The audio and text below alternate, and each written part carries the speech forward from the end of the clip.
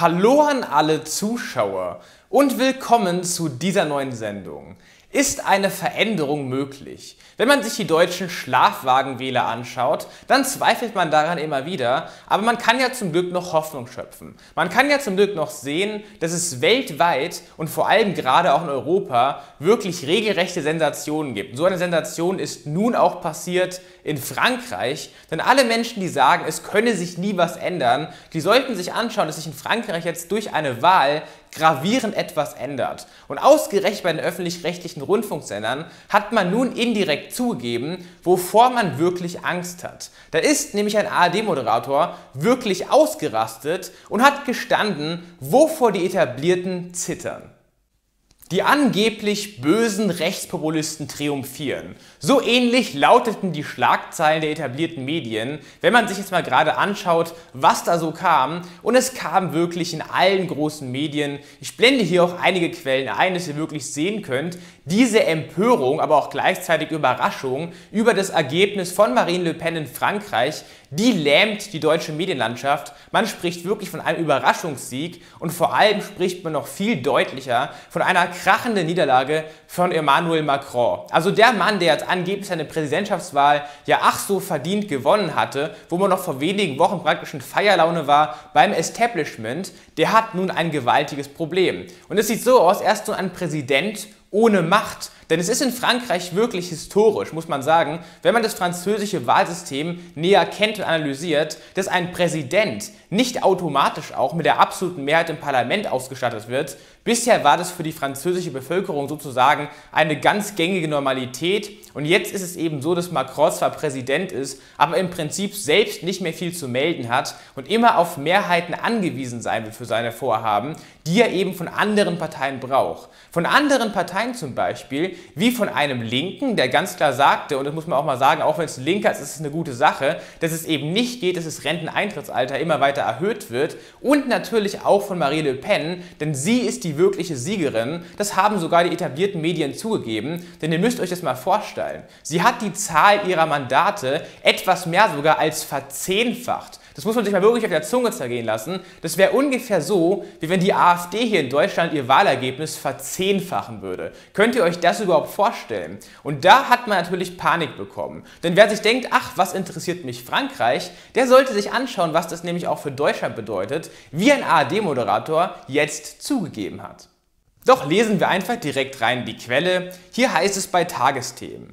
Wir können nur hoffen, dass es Emmanuel Macron jetzt gelingt, sein tief zerrissenes Land wieder zusammenzuführen. Sonst entsteht ein Sog, der auch uns mitreißen könnte.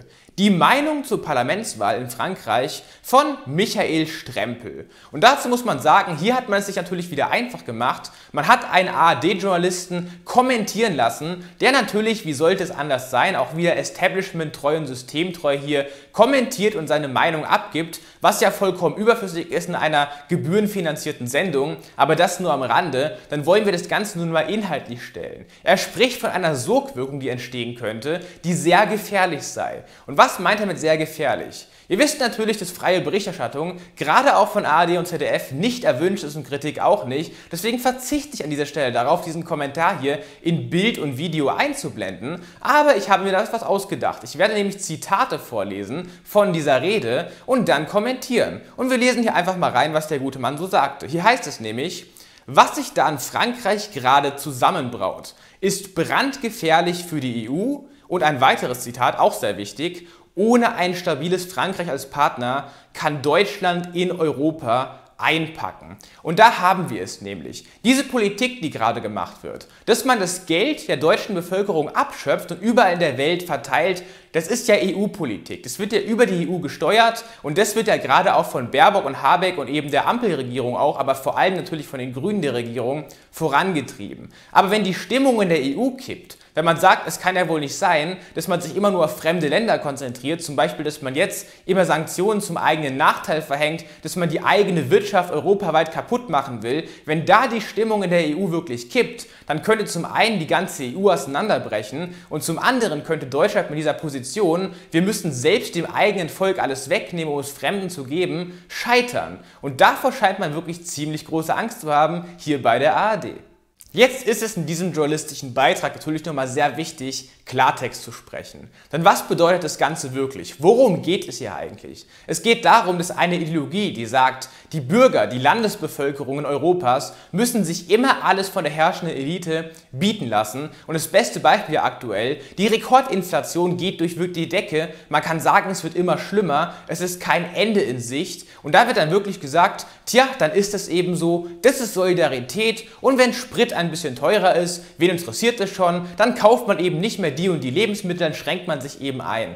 Das ist ja die Ideologie, die uns gepredigt wird und das mal alleine jetzt schon in Form von Robert Habeck, dem Wirtschaftsminister, über staatlich verordetes Frieren im nächsten Herbst und Winter. Das habe ich mir nicht ausgedacht. Ich blende, wie gesagt, hier auch die Quelle ein, sonst könnte mir das keiner glauben, dass man darüber mittlerweile diskutiert. Das zeigt doch, wie krass, wie wirklich absolut krass sich diese Eliten von den Bürgern entfernt haben und vor allem, was man auch anmerken muss, muss, wie sie uns verachten. Anders kann man es nicht sagen. Das ist ja wirklich nur noch eine Verachtung der Bevölkerung. Und die wichtige Botschaft, diese Verachtung, die ist eben zu besiegen. Und alle Menschen, die immer sagen, man könne ja nichts verändern, die sollen jetzt mal nach Frankreich schauen, denn da sind die Bürger mal aufgestanden und haben wirklich was verändert, indem sie eben aktiv geworden sind. Indem sie eben die Bewegung unterstützen, die ihre Meinung, ihre Interessen vertritt, ganz egal, was die Medien sagen. Denn die Medien hetzen in Frankreich genauso zum Beispiel auch gegen Le Pen. Nur davon hat man sich einfach nicht beeindrucken lassen. Und das muss die Message sein. Wir sind stark, wenn wir uns nicht von Widerstand beeindrucken lassen. Wir sind stark, wenn wir unsere Interessen selbstbewusst vertreten. Danke an alle, die dieses Video jetzt teilen und diese Botschaft damit verbreiten. Und man sieht ja auch, wie dringend es notwendig ist, dass wir uns wirklich alle zusammenschließen und wirklich selbstbewusst für unsere eigenen Interessen als Land, aber auch für die Interessen unserer Familien eintreten. Denn die Interessen der Bürger dieses Landes müssen an erster Stelle stehen. Wenn ich jetzt, wie ihr seht, es Annalena Baerbock sagt, man muss die Kriterien aufweichen, dass die Ukraine in die EU kommt, dass wir dann alle noch mehr Milliarden brauchen, die praktisch uns wieder weggenommen werden, um sie da zu investieren. Das ist nur so ein Punkt, der genau belegt, was ich hier gesagt habe. Aber ich möchte dieses Video mit positiven Worten schließen. Denn ich sage ganz klar, man sieht eben, es gibt Widerstand. Es gibt wirklich Widerstand europaweit und weltweit gegen eine Politik, die die eigenen Bürger immer weiter entmündigt, die unsere Freiheit und unseren Wohlstand zerstört. Und deswegen sage ich auch ganz klar, egal wie viele Hasskommentare ich hier immer auf diesem Kanal bekomme, ich bekomme von euch auch immer sehr viel schöne Dinge. Und zum Beispiel habe ich eine Nachricht bekommen, die kann ich nicht vergessen. Da meinte ein Mann zu mir, dieser Kanal, Never Forget Nikki, das wäre praktisch so eine Art letzte Bastion der Vernunft für ihn. Das wäre praktisch ein Ort,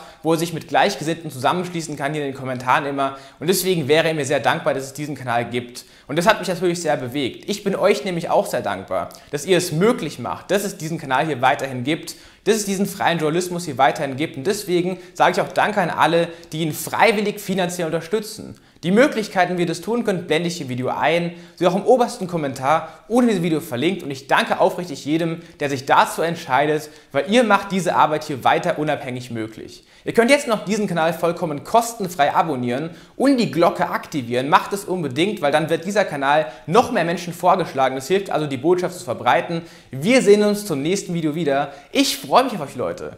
Ciao.